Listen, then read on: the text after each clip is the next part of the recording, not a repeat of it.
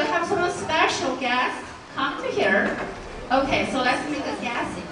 Uh, last year, who come to our stage? Anybody remember last year?